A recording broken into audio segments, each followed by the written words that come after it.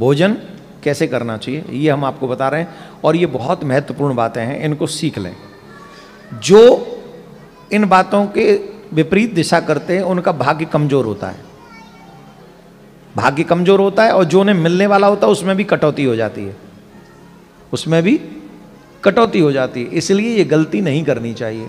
पहली गलती, गोद में रखकर कभी भी भोजन नहीं करना चाहिए। और आप अपने बच्चों को देखिए ऑलमोस्ट इतने ही रख देने और शुरू हो जा देने। कभी भी गोद में रखकर भोजन नहीं करना चाहिए, उससे भाग्यमंद होता है। कभी भी नहीं करना चाहिए। फूटे हुए बर्तनों में, टूटे हुए बर्तनों में कभी भी भोजन जो टूट गया हो, जो क्रैक हो गया हो, या जो, जैसे, यहाँ तो वैसे करते नहीं बर्तनों में, यहाँ तो वो सब कांच में ही करते हैं। और वो थोड़ा चटक जाता है तो सारा ही चटक जाता है, लेकिन जो बर्तन होते स्टील इत्यादि के, उनमें टूटे हुए बर्तनों में कभी भी भोजन नहीं करना चाहिए।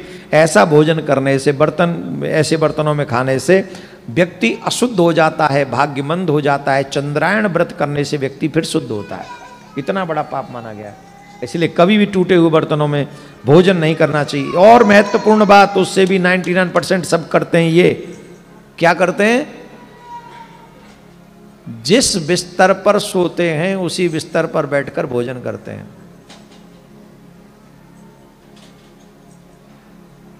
जो लोग कभी भी सैया पर बैठकर भोजन नहीं करना चाहिए, जल नहीं पीना चाहिए, हाथ में लेकर भोजन, जैसे खड़े होकर हम लोग होटलों में करते हैं ना, कहीं पार्टी वार्टी होती तो कैसे करते हैं भोजन?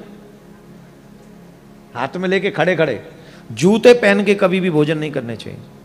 खड़े होके कभी भी भोजन नहीं करना चाहिए। दक्षिण दिशा की ओर मुँह करके कभी भी भोजन नहीं करना चाहिए। धोए पैर धोए बिना कभी भी भोजन नहीं करना चाहिए। इनको करने से जो ऐसे भोजन करता है, खड़े होकर भोजन करता है, पैर धोए बिना भोजन करता है, आदि आदि जो क्रिया करता है, उस व्यक्ति के भोजन को प्रेत करते हैं। कौन करते हैं? तो आज से इन बातों का ध्यान रखें कि जब भी भोजन करें तो कुछ नहीं तो थोड़ा सा जल अपने पैरों पे डाल लें, जूते उतार लें और बैठ कर भोजन करें। ये थोड़ा सा मर्यादा का आप लोग ध्यान रखें। भोजन में बिस्तर पे न भोजन करें, न पानी पिए। न भोजन करें, न पानी पिए। ये ध्यान रखना है। करेंगे तो इससे भाग्यमंद होगा।